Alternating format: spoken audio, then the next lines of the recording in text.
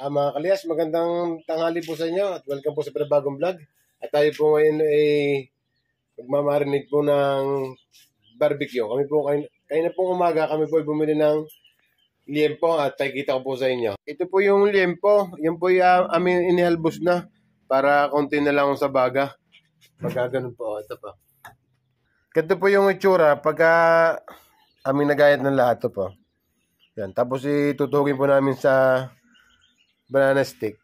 Barbecue. Ay, barbe- barbecue stick. Yee! Kami po yung mag-uumpisa ng mag po ngayon at para mamarinig po natin.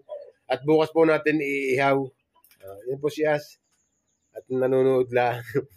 Hindi mo na alam ang aming ginagawa rin. Hindi rin maalam.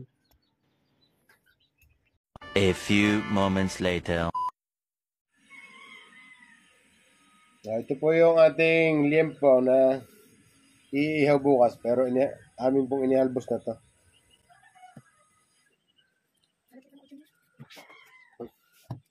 Ay, masal pa ng kilyo.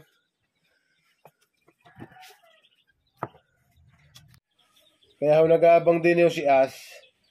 Kala ko iihaw na rin ngayon. Narin naman ay bukas pa ho namin lulutuin. Anak kayo pa. Oh, ito mga kalyas ang ating kwan. Oh.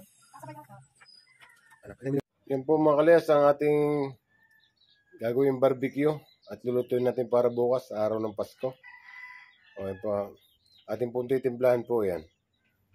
Uh, mga kalyas, diyan po natin ibababad ang ating liempo. Yan ay kompleto Ricardo na ho. Hindi ko na may isa-isa sa dami kong napalagay. Hindi ko alam kung ano mga tawag. Ang alam ko like ketchup, sibuyas bawang. Merong Sprite, Toyo Magic Sarap, Lea Perens, at konting asukal. Okay. Napakasarap po nito mga kalayas.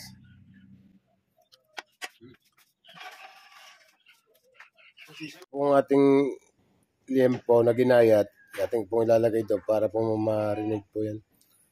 Para magkalasan, lalong mas masarap.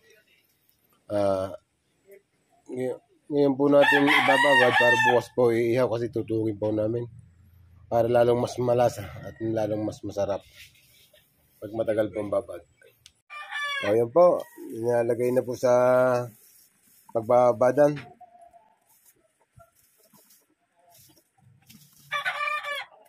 Alam, tawag din ha. Yan masarap.